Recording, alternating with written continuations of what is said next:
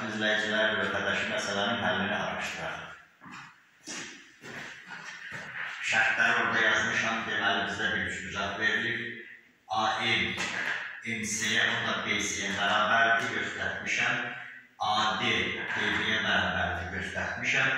Burada iki bucaq 40 dərəcədir, bizdən bu bucağı tapmaq tələb olunur. Elə ona da alfa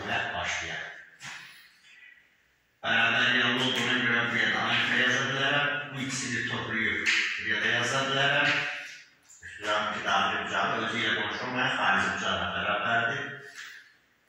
Diğer taraftan bunlar beraber yanlı olduğuna göre buraya da alfa yazabilirim. Ortasına dişi bucaklar beraberdir.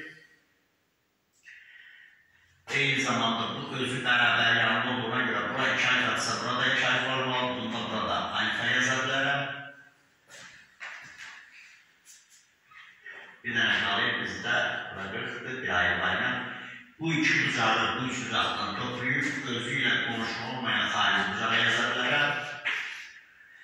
Bura alfadırsa, buraya da iki alfa yazmalıyam ki, bu ikisinin zərfi özünlə qonşu olmayan xarici bucağa bərabər olsun. Burada getdi. İndi bir dənə axırıncı beşimiz qaldı. Bu üç alfanı tənqid buraya yaza bilərəm.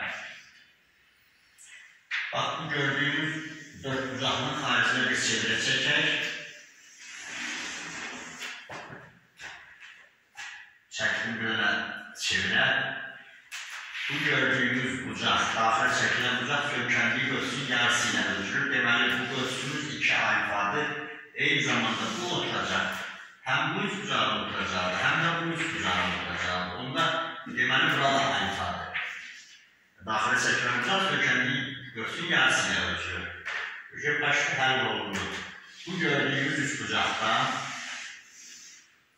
bucaqların cəmi 180 dərəcədir. Bu, bu, bu. Alfa, 103 alfa, 140 bərabər 180. 4 alfa bərabər 140, alfa da bərabər 35.